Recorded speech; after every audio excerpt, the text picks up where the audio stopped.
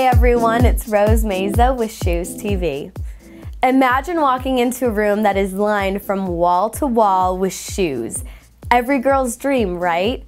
Well, for Heather Tukwa and Audrey Yu, the Director of Sales and the Director of Brand Management at Michael Antonio, that's a reality.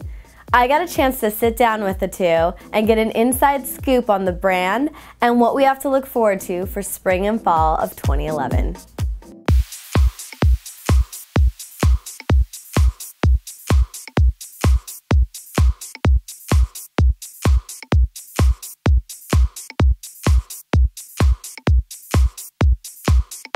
Like you said, it's any girl's dream to be working with shoes, so yeah.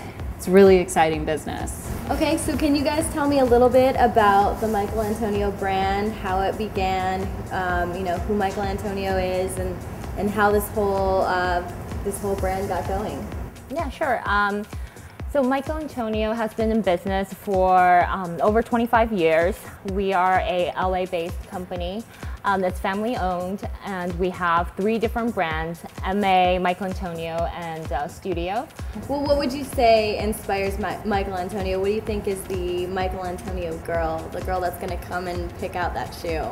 The Michael Antonio girl is really a fa fashion conscious, um, fast fashion, edgy trendsetter that's looking for a great product at a great price.